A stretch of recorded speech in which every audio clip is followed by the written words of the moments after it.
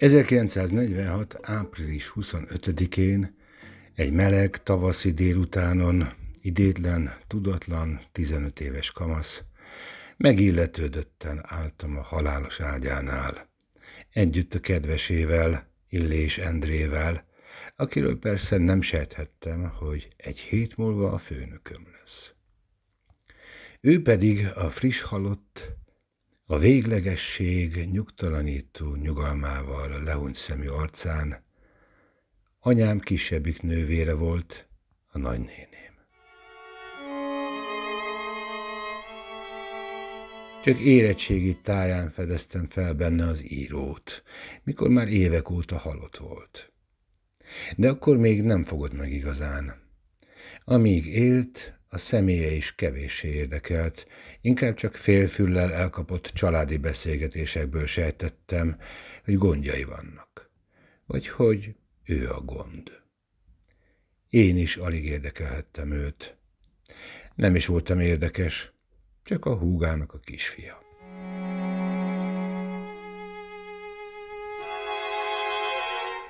Anélkül, hogy kérkedett volna nevezetes őseinkkel, foglalkoztatta a középkorban színre lépett és Montenegróban uralkodó szerepig jutott szerb főnemesi család története. Szentendrét jellemezve fölidézi a 17. századi ipeki pátriárka Csernovics Arzén nagyformátumú alakját, akinek nyomai ma is láthatók, érezhetők az éppen ettől különleges hangulatú Dunaparti városkában, amely mellesleg fontos helyszíne a modern magyar festészet történetének. Erzsébet festőként heteket töltött ott.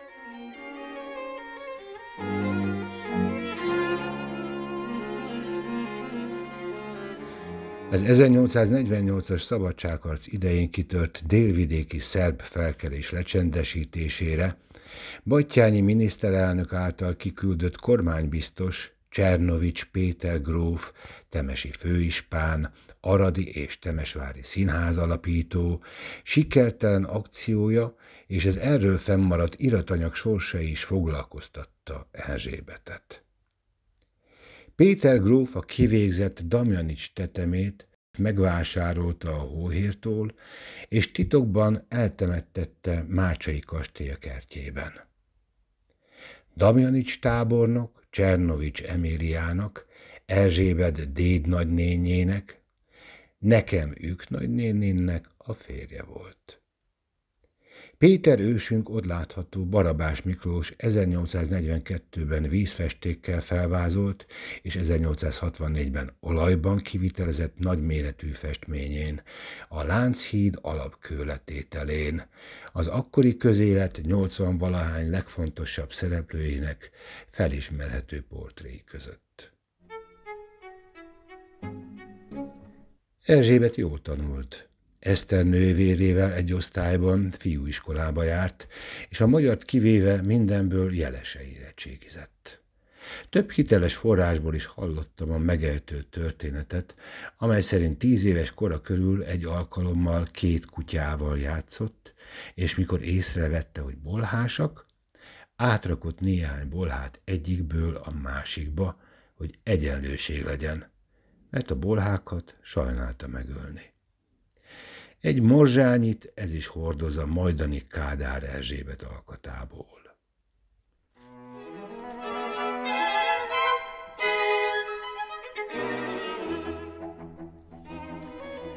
Anyjuk, ahogy tudta, óvta a lányokat az urat dükitöréseitől és a maga ókonzervatív módján az élet nyersebb oldalától is.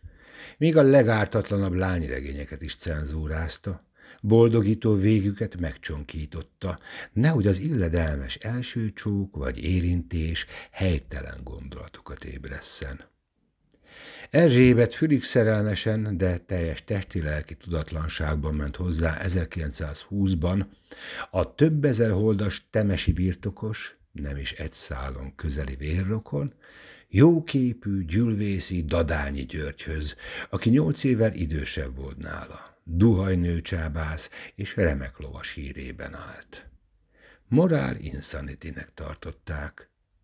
Huszártisztként végigharcolta a világháborút, fogságának története pedig a haditudósítóként szolgáló író, Bíró Lajos regénye, abból itt nagy sikerű színdarabja, majd filmje révén, Hotel Imperiál, némi világhít hozhatott volna neki is.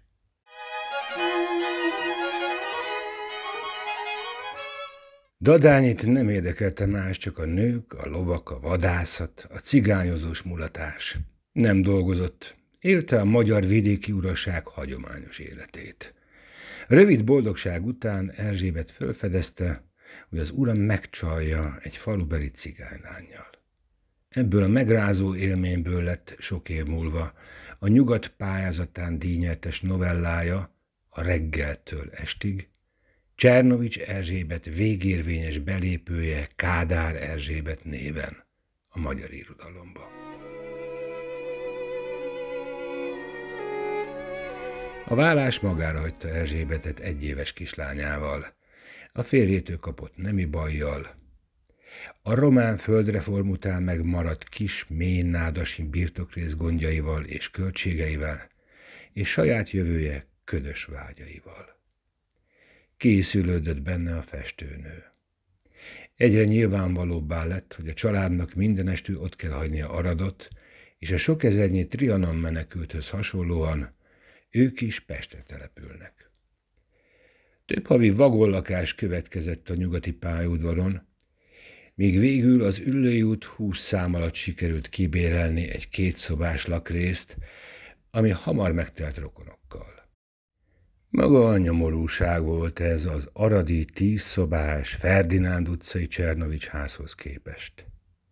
A második emeleti társbérlet ráadásul nyüzsgött a poloskáktól, és mellékhelyiség a lakáson kívül a folyosón volt.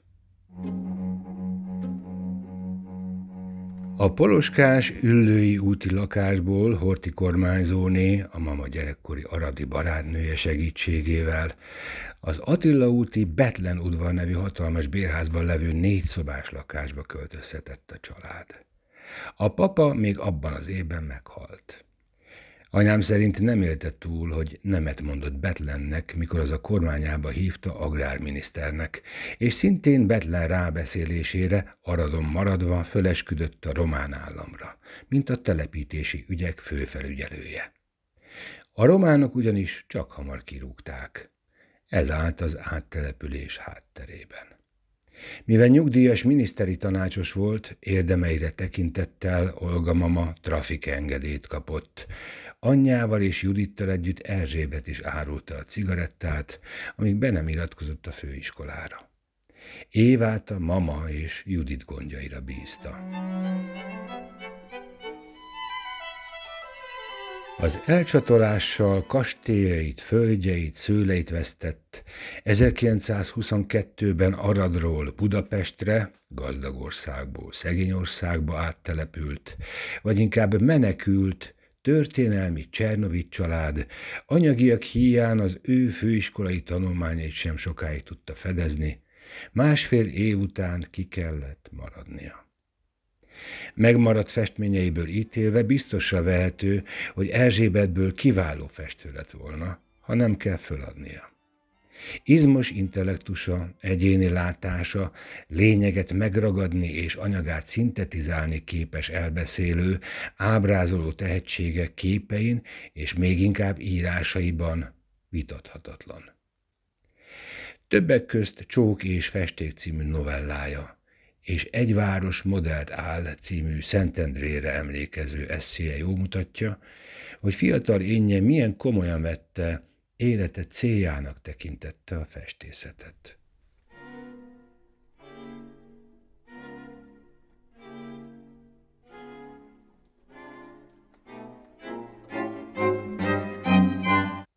Felhagyni azzal, amiben hitt, amire egész fiatal életében készült, és amiben már is sikeres volt, nem lehetett könnyű.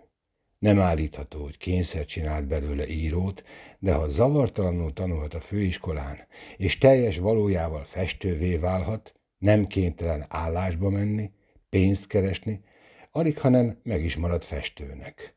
Nem enged a csábításnak, ami a szerkesztőségben érte, ahol illusztrátorként és kezdő újságíróként elhelyezkedett. Nyertünk volna egy kitűnő festőnőt, de elvesztettünk volna, anélkül, tudnánk róla, egy minden látható jel szerint egyedülálló teljesítményekre képes írót. Nem lehet valaki egyszerre jó festő és jó író, mondta, és tudta, hogy döntenie kell.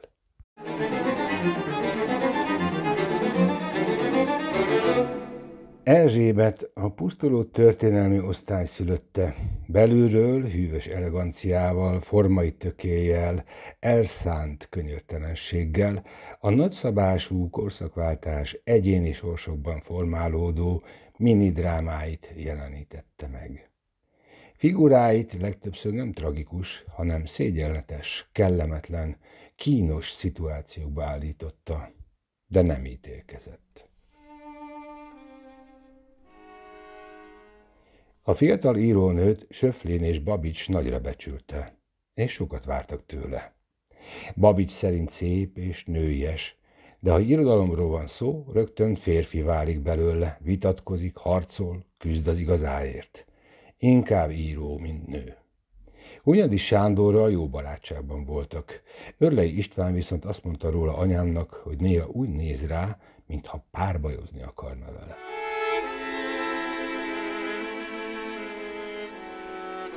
1944. augusztusában jelentek meg 30 szőrös kosár címmel elbeszélései.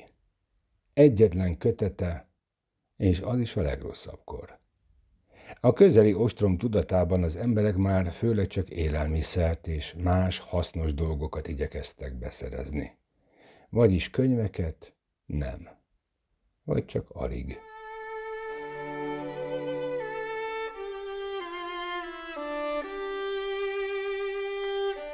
Az ostrom utáni általános újjáépítési lendületben Erzsébet is magára talált. Férjhez adta és biztonságban tudta a lányát, aki férjével Londonba költözött, ami nagy megkönnyebbülést jelentett neki. Fontos megbízást vállalt, Gyergyai Albert a francia, ő párhuzamosan a magyar széppróza fontos alakjait dolgozza fel egy tanulmánysorozatban. Regényt akart írni, novella terve is voltak, állása a fővárosi könyvtárban szerény megélhetést biztosított. A Nemzetközi Penklubtól valamilyen pénzzel járó díjat kapott, amiből rendbe hozatta a lakását, már csak az ablaküvegek hiányoztak.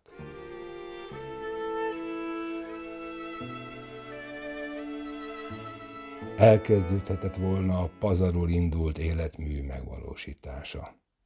Soha még ilyen életerősnek és kiegyensúlyozottnak nem éreztem magam, mondta anyámnak, és három nap múlva halott volt. Éva jól emlékezett a konyai tűze egyik kilazult gázcsapjára. Alattomosan, állandóan szivágott a gáz. Búcsú látogatásakor rosszul lett tőle, és figyelmeztette anyját, aki már csak ezt az utolsó éjszakát szándékozott a konyha melletti, apró, ablaktalan szobában tölteni. Az önkezűség lehetősége föl sem merült. Ezt a rendőrorvos is megállapított.